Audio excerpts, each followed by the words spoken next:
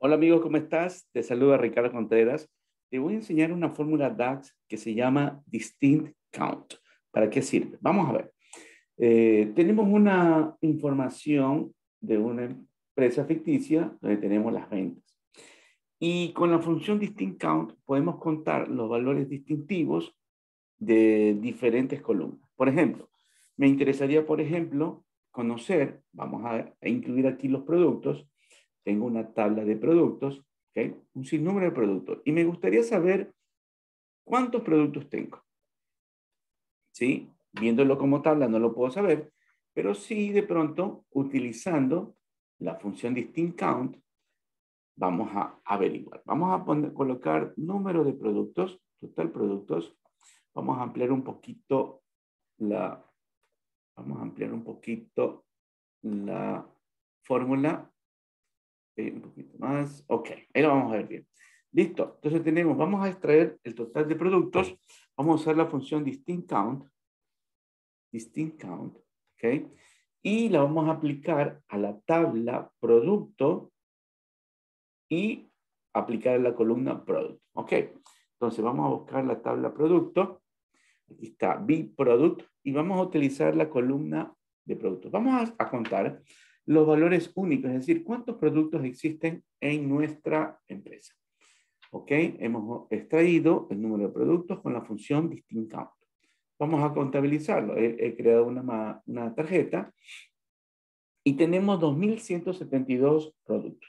Puede ser una aplicación. Puede ser también que nos interese saber el total de categorías de productos que tenemos en la compañía. Vamos a ver categorías. Tenemos cuatro, vamos a contarlas, eh, número de nueva medida, y vamos a extraer el número de categorías. ¿Ok? Vamos a usar la función distinct count, distinct count, ¿ok? Y lo vamos a aplicar a la columna product, a la, a la tabla product, columna categoría. ¿Ok? Product y columna ahora categoría. Para conocer ¿Cuántas categorías existen en mis datos? ¿Ok? Enter. Vamos a validar la información. A ojo tenemos cuatro. Nos debe salir una respuesta de cuatro categorías. Perfecto. Apliquémoslo en otro. Supongamos que nos gustaría saber el número de marcas, el número de fabricantes, proveedores de nuestra empresa. Ok, vamos a calcularlo. Vamos a extraer a utilizar nueva medida. Eh, manufacturers, ¿okay? ¿Cuántas marcas, cuántos proveedores tenemos eh, en nuestros productos? Este, distinct count, distinct count, vamos a sacar distinct count, vamos a aplicar distinct count a la columna product, fabricante. Okay, product, y vamos a seleccionar fabricante. ¿Cuántas marcas tenemos en nuestra empresa de fabricantes. Si yo lo coloco aquí ahora fabricantes, vamos a ver fabricantes, hay 1, 2, 3, 4, 5, 6, 7, más o menos 16, 17. Veamos el resultado. Ah, perdón, esto es categoría fabricantes, 14 fabricantes. Ajá, 14 marcas a las cuales nosotros vendemos en nuestra tienda, en nuestro comercio. Bien, otro que podemos aplicar también el número de segmentos de clientes. Quitemos esto de aquí. Quitemos acá, pongamos segmentos de clientes. Al ojo tenemos 2, 4, 6, 8. 2, 4, 6, 8. Vamos a ver.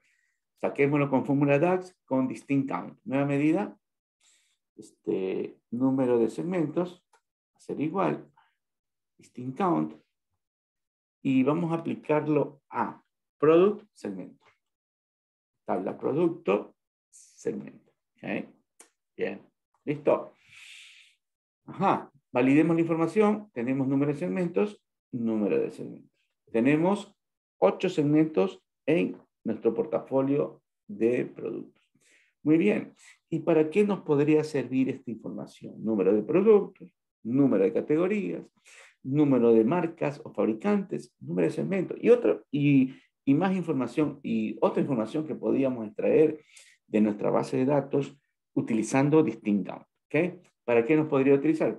Un ejemplo podría ser que tenemos las ventas por categoría y podríamos incluir aquí cuántos productos tenemos por categoría. Vamos a incluir número de productos.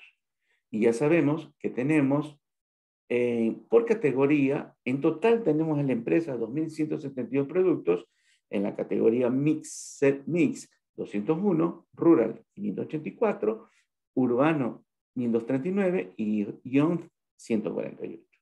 Podríamos también estar interesados en calcular el promedio de ventas por producto por estas categorías. Simplemente hacemos una, una medida donde vamos a sacar ventas, perdón, ventas, ventas por producto y simplemente vamos a dividir total sales, total de ventas, la expresión, dividido para el número de productos que acabamos de obtener. Número de productos. ¿Okay? Por acá voy a eliminar esto. Listo.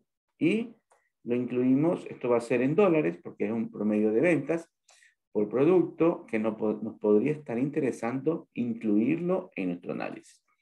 Vamos a colocarlo aquí y sales by product. Ajá. ¿Sí? Entonces, no lo incluí. Ahora, listo. ¿Okay?